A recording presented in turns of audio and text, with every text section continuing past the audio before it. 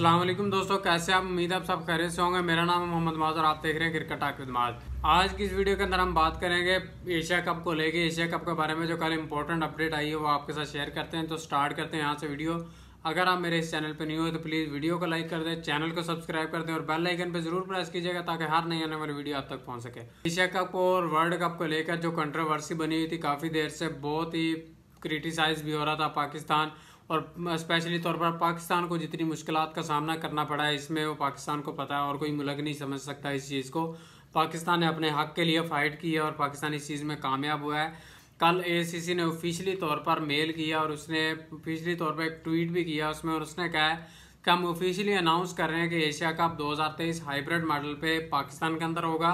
चार मैचेस इब्तदाई पाकिस्तान के अंदर खेले जाएँगे। उसके बाद बकिया के जो नौ मैचेस हैं वो श्रीलंका के अंदर कर दिए जाएँगे। इकतीस अगस्त से लेकर तेरह सितंबर तक ये टूर्नामेंट जारी रहेगा, जो टोटल तेरह दिन का टूर्नामेंट होगा। इसके अंदर जो तेरह मैचेज हैं टोटल इसके अंदर जो चार इब्तदाई मैचेज हैं पाकिस्तान कजाफी स्टेडियम के अंदर होंगे। इसी के बाद दूसरा पाकिस्तान, ये चाह रहा था कि यूएई के अंदर हो जाए, लेकिन श्रीलंका को तरजीह दी गई है। श्रीलंका के अंदर बकिया के जो मैचेज होंगे तो अभी पाकिस्तानियों के लिए तो ये बहुत खुशी की बात है। और स्पेशली नजम सेठी साहब को सलूट है यार, आपको, आपने पूरी दुनिया को दुनिया की नहीं सुनी, आपने अपनी मनवाई, आपने अपना हक को इस्तेमाल किया, आपने बी के घुटने टिकवा दिए। ये बहुत बड़ी अचीवमेंट है पाकिस्तान के लिए और पाकिस्तान के लाखों क्रिकेट फैंस के लिए, क्योंकि बड़ी देर से पाकिस्तान के अंदर क्रिकेट बंद हुई हुई थी।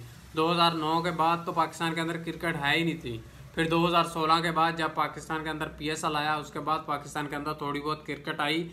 उसके बाद पाकिस्तानी फैंस की और पाकिस्तान क्रिकेट बोर्ड की कोशिशों के बाद मतलब कि उनकी भी ये कोशिश थी कि कोई बड़ा इवेंट पाकिस्तान के अंदर हो। तो फाइनली फाइनली पाकिस्तान इस चीज़ में कामयाब हो गया। पाकिस्तान के अंदर एशिया कप आ रहा, बड़ा इवेंट है। इसके बाद 2025 के अंदर चैम्पियन ट्रॉफी आएगी, इंशाल्लाह अगर अल्लाह ताला ने चाहा तो पाकिस्तान उसको भी होस्ट करेगा। इसमें पाकिस्तान के जो अचीवमेंट है, वो तो है ही। नजम सेठी साहब की बहुत ज़्यादा मेहनत है इस चीज़ में। लेकिन पिछले दो से तीन महीने के अंदर इंडियन मीडिया इस चीज़ में मसरूफ़ था कि पाकिस्तान के अंदर हाइब्रिड मॉडल पाकिस्तान का एक्सेप्ट नहीं होगा, पाकिस्तान हाइब्रिड मॉडल अगर ना एक्सेप्ट हुआ तो पाकिस्तान एशिया कप से बाईकाट करेगा। कभी कह रहे थे कि श्रीलंका के अंदर चला जाएगा, पाकिस्तान एशिया कप ही नहीं खेलेगा।